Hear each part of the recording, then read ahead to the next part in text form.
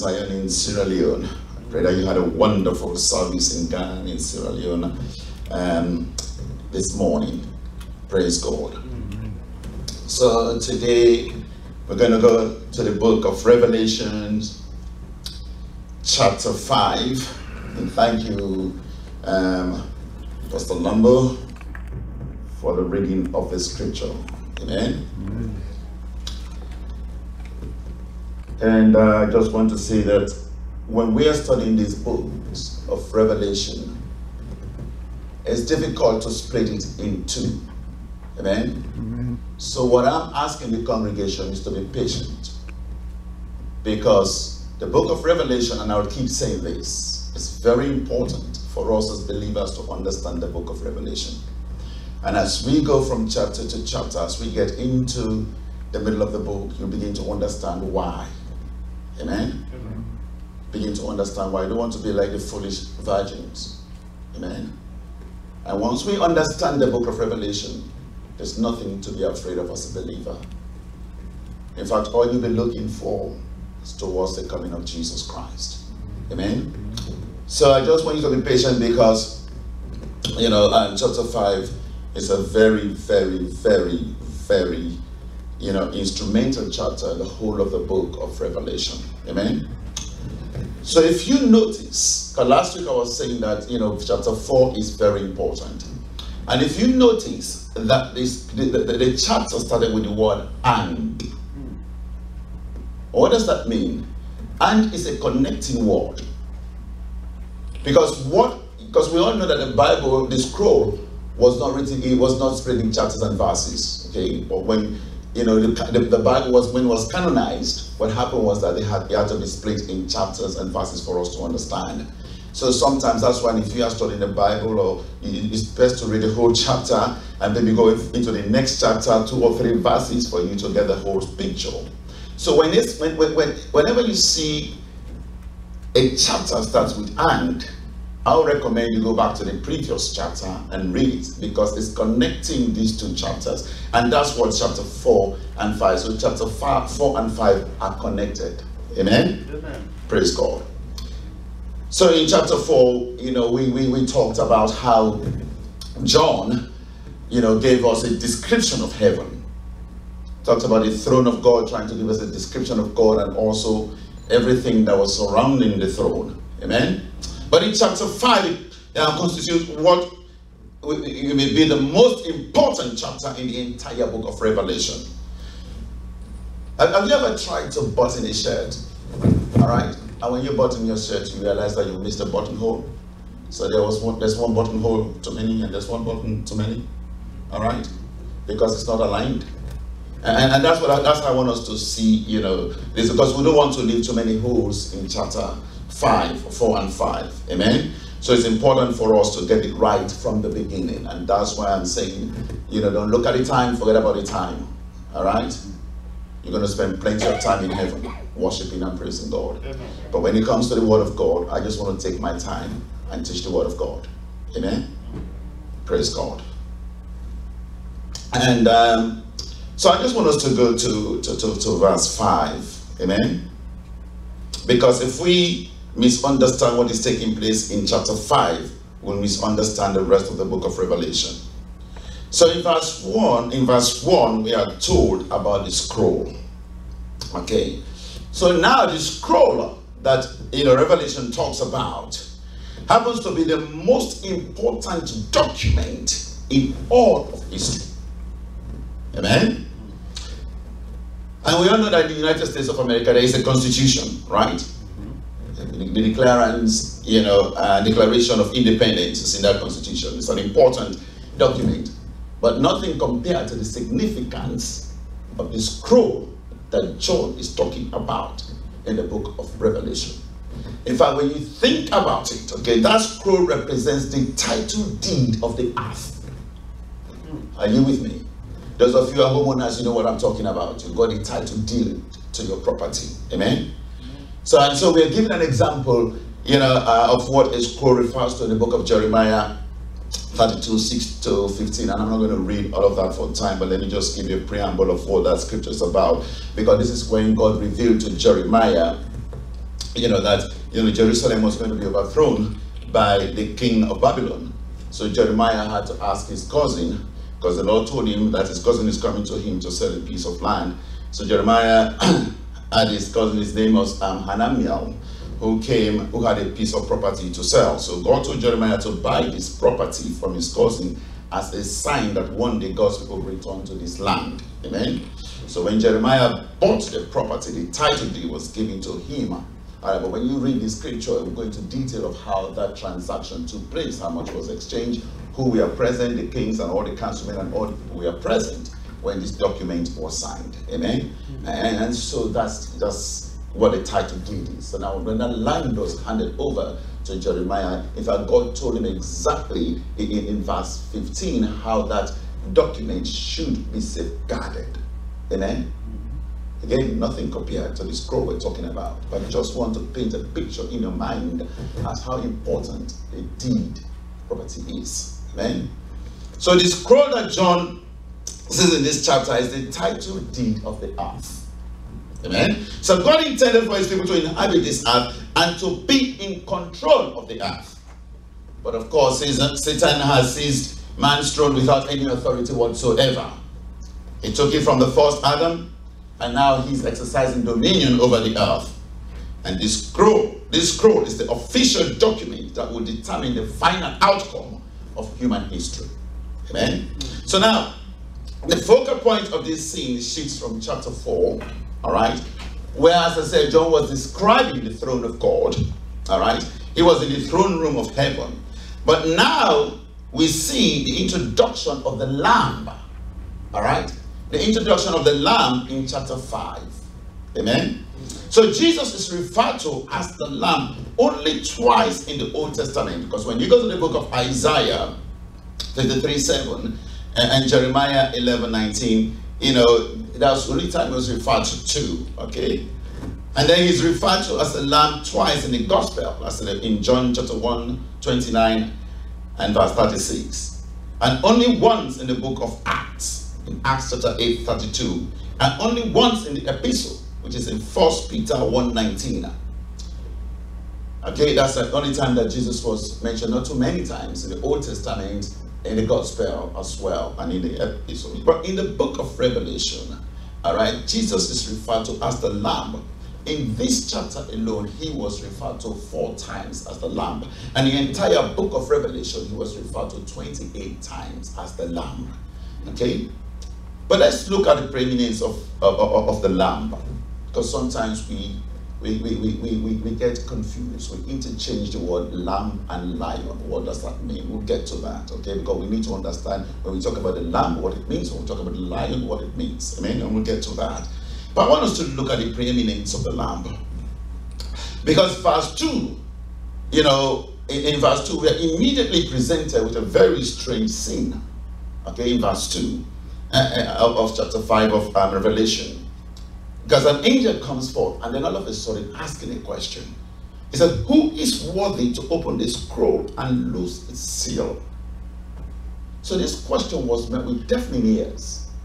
There were people sitting there because we are told that in verse 3 that no one in heaven or on earth or under the earth will be able to open this scroll or to look at it.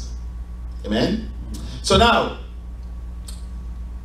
there have been many who are willing to take title of the earth in this world.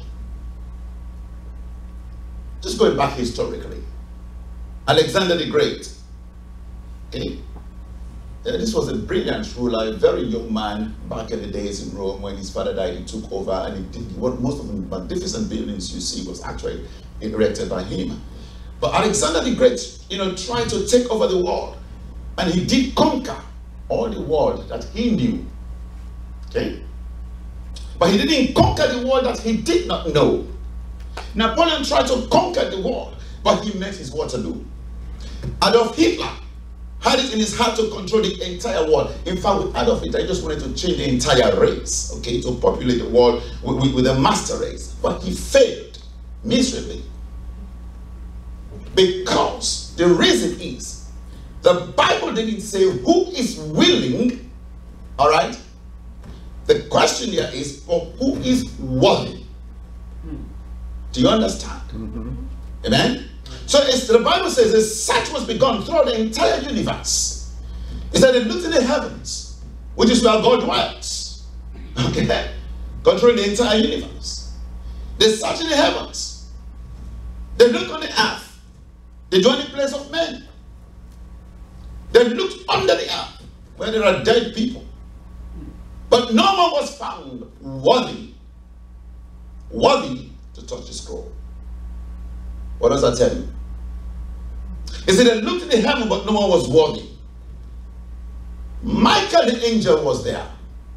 All right, he was a powerful angel of all the nations of, of Israel. But he kept silent. The greatest trumpeter in heaven, kept silent. He couldn't say a word. The prophet Isaiah couldn't say a word. He was the one who said, Here I am, send me, send me. But now he couldn't say a word. Peter was there, who said, I will never leave you nor deny you. He couldn't say a word. He held his tongue. James and John, who said, We want to sit on either side of you in the kingdom of heaven.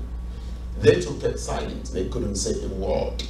No prophet, no patriarch, no preacher could be found to open the scroll.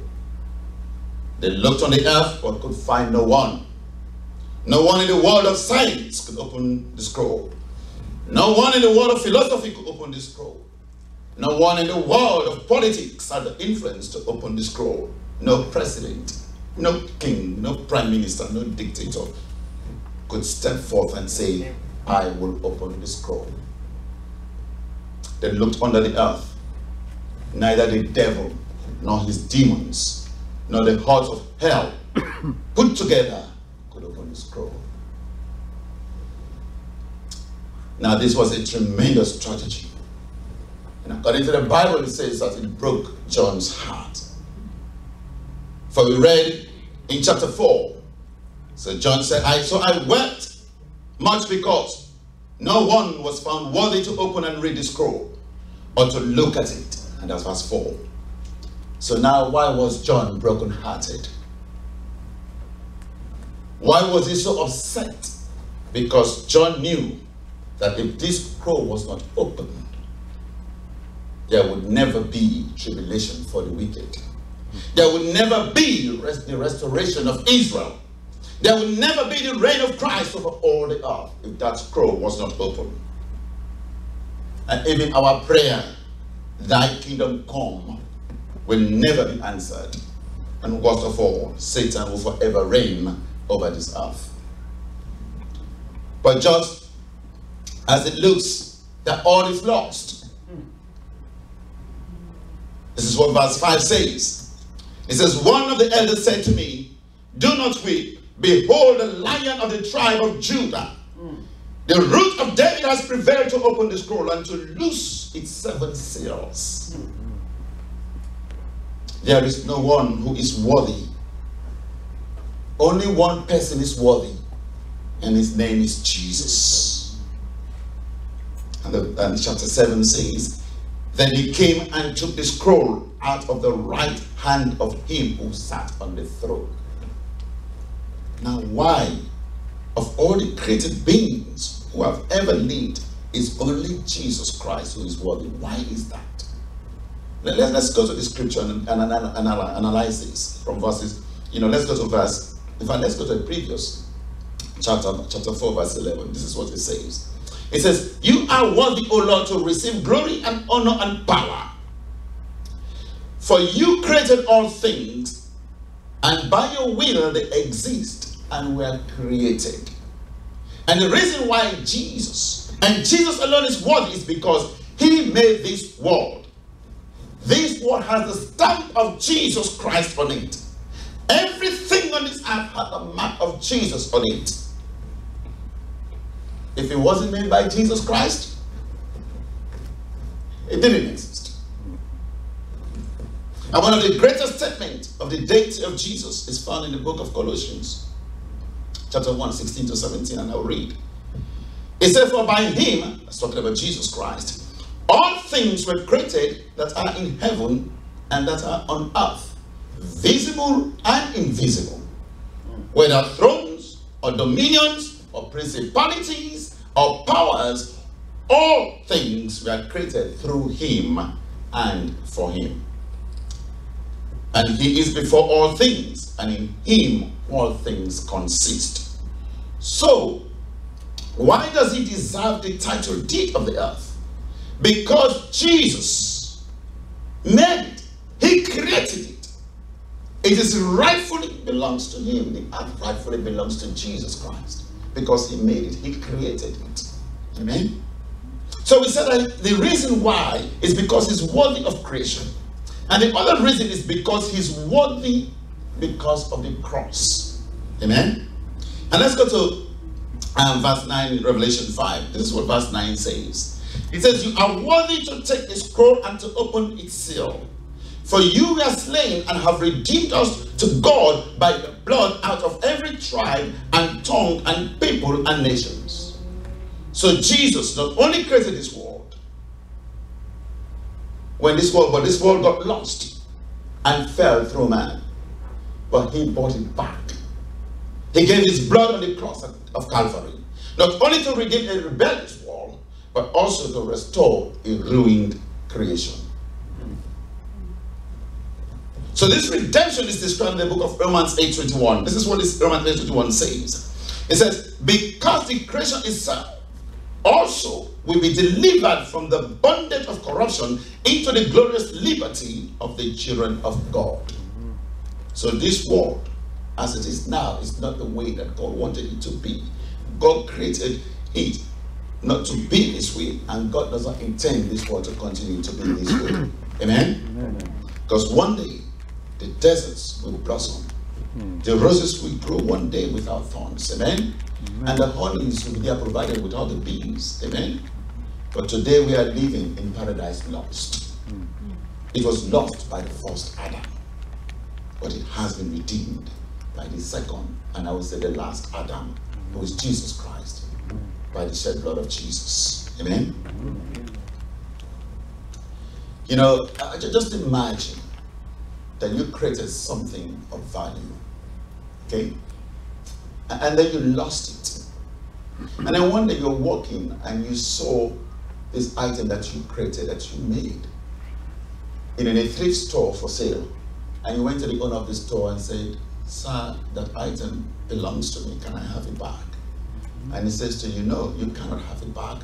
However, if you want it, it is for sale. You have to buy it. So you went home, but every penny that you had and went and purchased that item. It's the same with Jesus Christ. So you own that item twice. It was yours when you made it. It was stolen from you, but you redeemed it. So it becomes yours twice over. Amen? Amen. So, and the third thing that made Jesus to be worthy is worthy because of the crown. Let's go to verse 5. It says, He is of the root of David. Amen? Mm-hmm. So David in the Bible represents what? He represents you know, royal royalty. Mm-hmm. He's in the line of kings. So you see, Jesus was also the, from the root of Abraham and the root of Moses and of Elijah as well. But primarily, he was of the root of David because David is the preeminent king of God's people. Amen? And the kingdom of this world belonged to him, of the line and of the lineage of King David. Praise God. You see, Satan was never called the king of the world. He is not. He's called what? The prince of darkness. The prince, you know, of the power of this age. That's what Satan is called. Nobody ever says Satan is the king of the world, right? Because the world does not belong to him. He's actually, you know, a prince on a world that belongs to somebody else. So one day, Jesus Christ, the King of Kings, is coming to take back his rightful place as the ruler of this world. He made it with his own hands, he bought it with his blood. He was promised by his heavenly Father that one day he will unroll this scroll and exercise his sovereignty over the world. Praise God. Amen. You see, Jesus Christ is not the world's best hope. I know you're looking at me funny now. Jesus is not even the world's religious hope. Jesus is the world's only hope. Amen. Oh, how many are willing today? But He's alone, He's worthy. Many are desiring, but He alone is deserving. Many are prominent, but He alone is preeminent. Let's look at the fourth thing here, because now we've talked about the worthiness of Jesus Christ. Amen. I want us to just paint a picture of the Lamb because we need to understand what the difference between the lamb and the lion. But let's look at the picture of the lamb. Amen. And let's go to verse 6. And verse 6 says, And I looked, and behold, in the midst of the throne, and of the four living creatures, and in the midst of the elders, stood a lamb. Okay? Now it's amazing that in chapter 4, when John was in heaven, he saw the throne. He was, you know, in the throne room. How did he miss the lamb? Because the Bible says that the lamb was right in the middle. All right? But he described God and he described all these other, you know, angelic things around the throne. You know, so how could he have missed it when he was right in the middle? But John was taken away by the emerald rainbow, the sea glass, the cherubims, the elders, the living creatures, the thundering and the lightning. So that he completely missed the lamb, yet the lamb was in the middle of everything. Amen? Amen. You know, heaven is going to be a wonderful sight. It will be marvelous for all of us to see the gates of Paul. It will be wonderful to walk on the golden streets in heaven. Amen? Amen. It will be precious for you to just bask in the light of that emerald rainbow.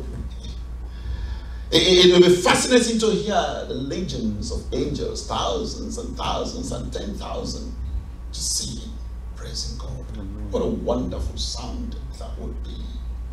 It will be interesting to see that we want to walk on the glass Amen. and the sea of glass.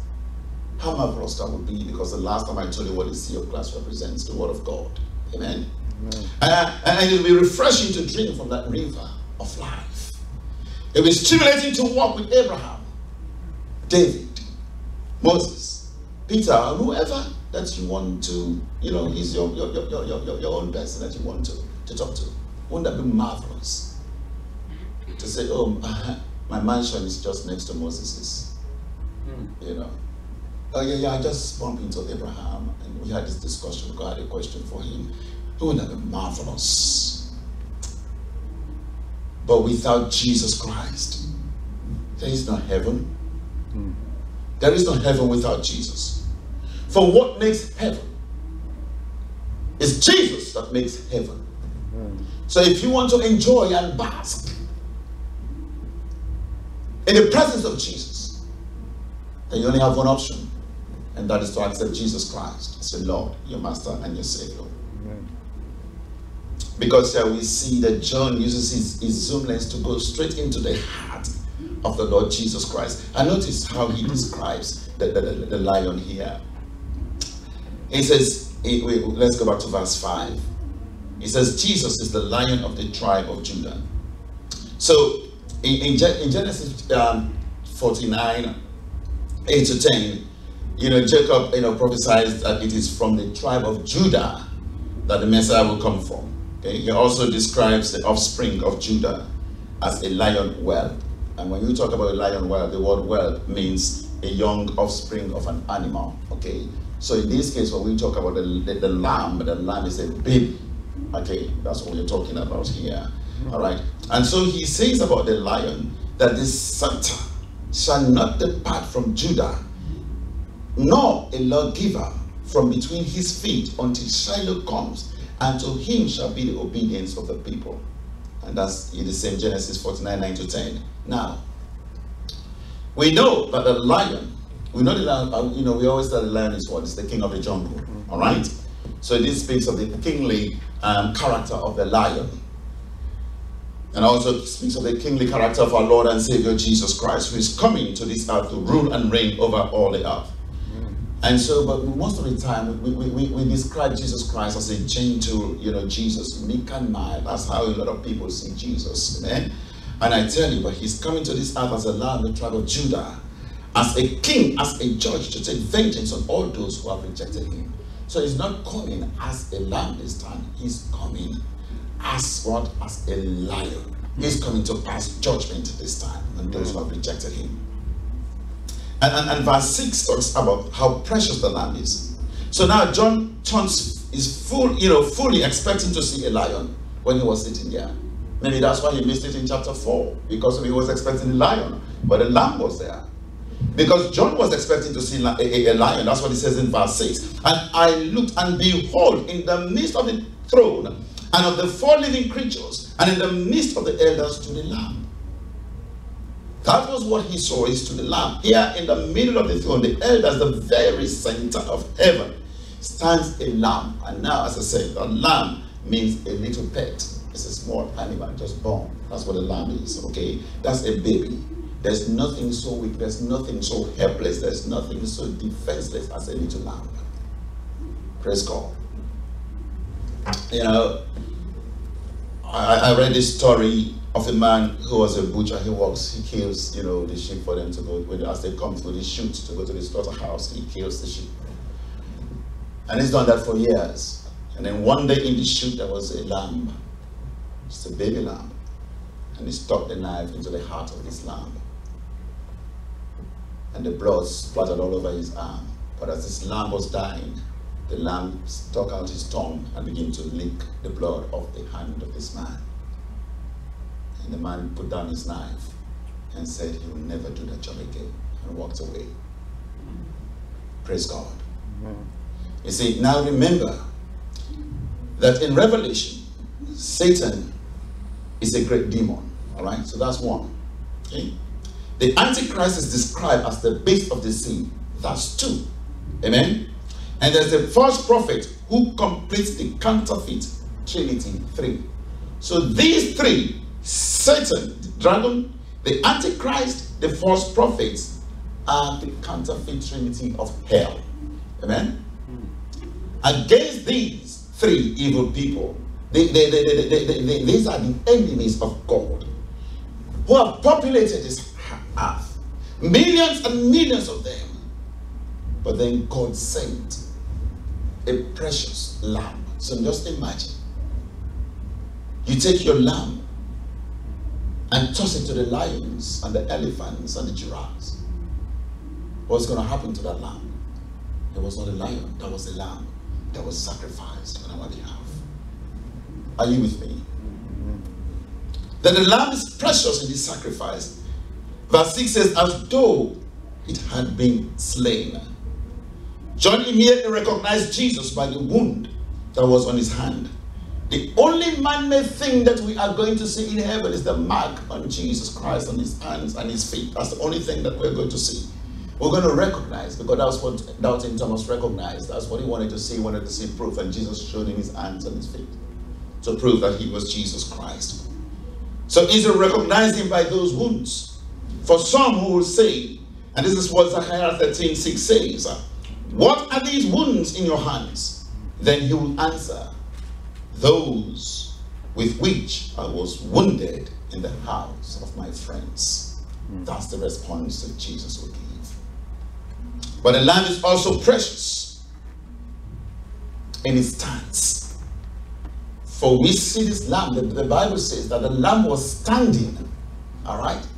This lamb was not sitting, was not lying. The lamb was standing. Not only is he the redeeming lamb, he is the resurrected lamb. I mean, somebody once wrote years ago in a book entitled Satan is Alive and Well on Planet Earth.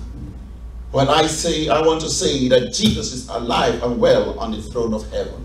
Amen. You see, the head that was once crowned with thorn is now crowned with glory. Is now crowned with diadem that, that, that adorns that brow. You know, when they placed the thorn of crown on the head of Jesus Christ, was blood was dripping out of him. But now when you see him in heaven, he's going to have the diamond, the diadem. Those are all great, beautiful ornaments that you will see on Jesus Christ. Amen. Amen. Now do not think it is inconsistent or incongruous to see Jesus both as a lion and a lamb. Okay? It is not confusing. All right? But just bear with me. It says, For as a lamb, he is our redeemer. Amen? Mm-hmm. As a lion, he is our ruler. As a lamb, he is our savior. As a lion, he is our sovereign. As a lion, he was prophesied in the Old Testament. As a lamb, he is pictured in the New Testament. So that's the difference between the lion and the lamb. Are you with me? Praise God. Amen. Let's go to verse um, 16. He says, We're looking at Jesus Christ as the perfect Lord. We are told that this lamb had seven horns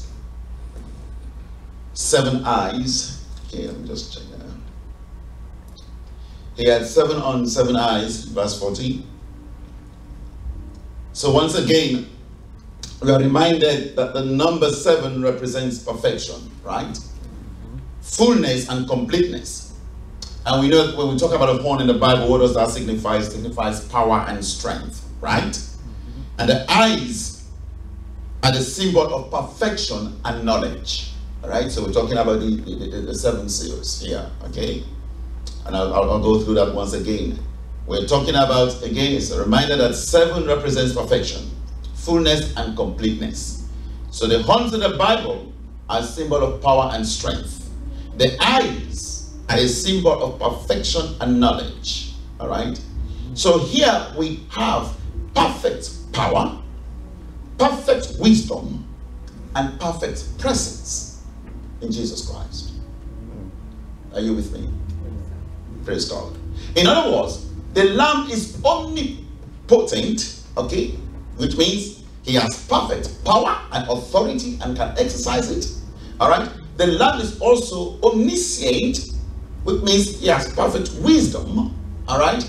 And also the Lamb is omnipresent, which means he has perfect presence. All right. And when we talk about omnipresence, and we talk about the presence of Jesus, it means that He is present, not just in one place, but He's present everywhere.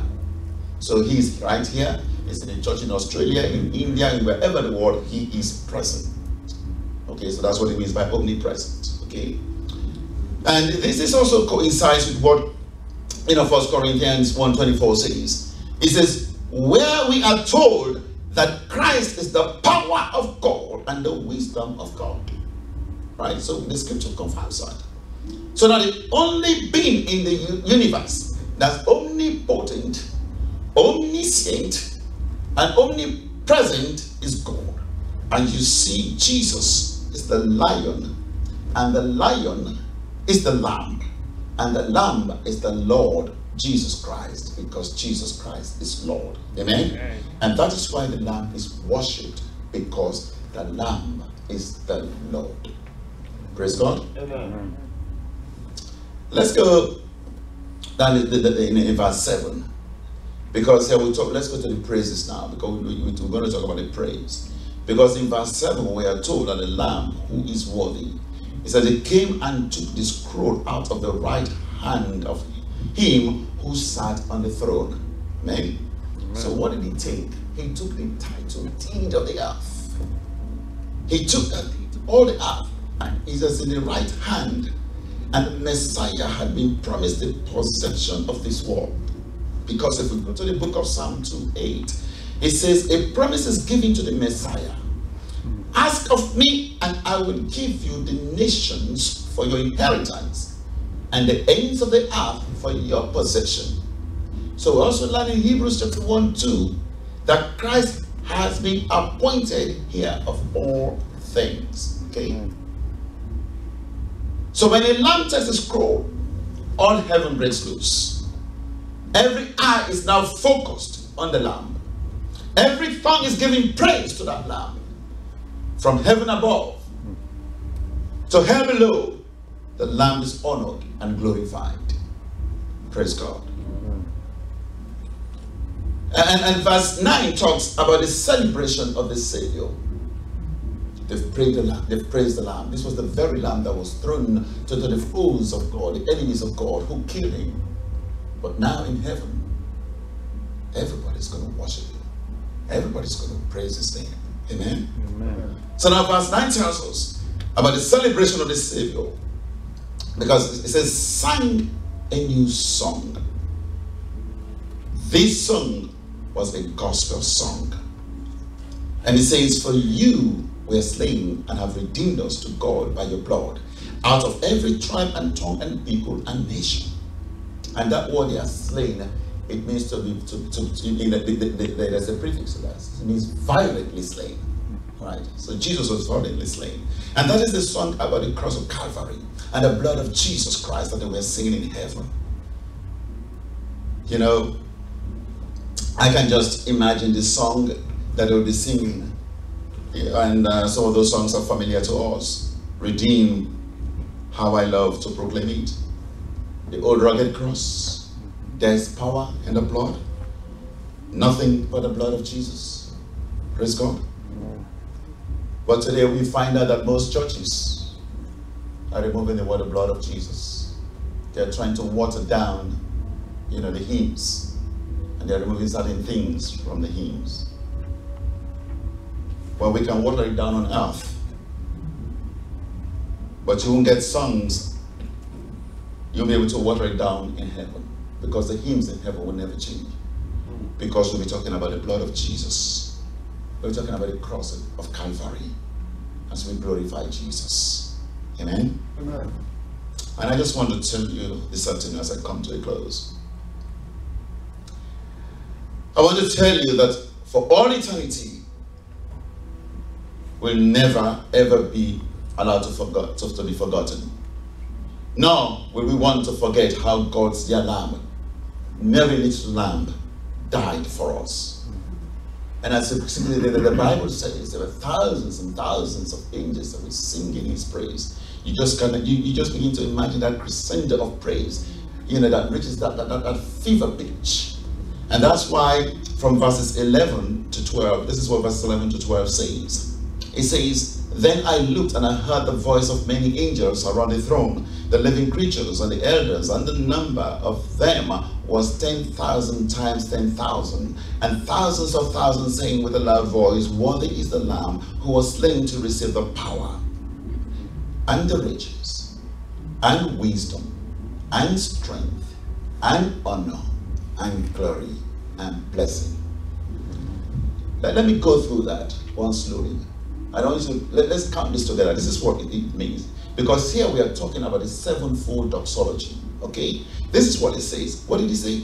He said, This is the lamb. It talks about the riches, the wisdom, the strength, the honor, the glory, and the blessings. Okay? He is worthy of all of those. There are seven there, am I right? You want to follow? Yes. He receives power, he receives riches, wisdom, strength, honor, glory, and blessing. That's the seven doxology from chapter 11. And what does doxology mean? It means hymn, it means praise. That's the highest praise that we can give to God. That's doxology. Okay? Because, why? Because a perfect Lord deserves a perfect praise. Again, seven stands for what? Perfection beginning to, you, are you with me mm-hmm. so far? And I believe each one of these qualities represents everything that Jesus did not get the first time he came to this earth. Nobody praised him. But he will receive when he comes the second time. He came in weakness, but he will reign in power. He became the poorest of the poor, but unto him belong the riches and the universe. Men call him foolish, but he is the wisdom of ages. Men mocked his meekness, but he will be praised for his strength. He was butchered like a lamb, but he will be received and honored as a king. He was rejected in shame, but he will be bathed in glory. He became a cause for sinners, but he will receive the blessings of the saint. But then the, the, when we go on to verse 13, the praise continues. And let's look at verse 13. Verse 13 says, And every creature which is in heaven and on earth and under the earth, and such as are in the sea, and all that are in them, I heard saying, Blessing and honor and glory and power to be to him who sits on the throne and to the Lamb forever and ever. That's verse 13. But when we read 11 to 12, we talk about the seven doxology, right? Mm-hmm. But in verse 13, it's only four doxology there. Amen? Yeah. Now, now we see that this second praise is a, you know, which is, as I said, is a fourfold doxology. If you remember, you know, we said what? What does number four stand for? It stands for what? It's the number of creation, right? Mm-hmm. So this represents all of God's creation, giving all its praise to the one God who created it, and that name is Jesus Christ. So that's what the verse 13 is talking about the four doxology, the completeness of the earth. That is Jesus Christ. Amen. Amen. So from every corner of the universe, there rings out this acknowledgement at last that Jesus Christ is Lord. Praise God. Amen. There will not be a single dissenting voice in heaven. Amen. Even the fallen angels, the demons, Satan himself, every wicked person, all those who rejected Jesus Christ, sinners of this world, will once and for all acknowledge Jesus Christ as Lord. Amen. You may decide whether or not to accept him as your savior, but one day everyone will acknowledge him as Lord. Everyone is going to give praise to him, unto him who is worthy. And I close on this. Verse 14. It says, Then the four living creatures said, Amen. And the 24 elders fell down and worshipped him who lives forever and ever. If you are saved and you truly know Jesus Christ, there should be an amen in your heart this afternoon. Amen. Oh, you can do better than that. Amen. There should be a swelling within your heart. this very moment, Mount Zion. Do you believe he's worthy? Yeah. Amen. If you do, there should be a desire this very moment to just fall on your face and begin to worship him. Amen. And what I'm going to ask the choir to do this afternoon, I just want us to stand on our feet. Let us just worship God.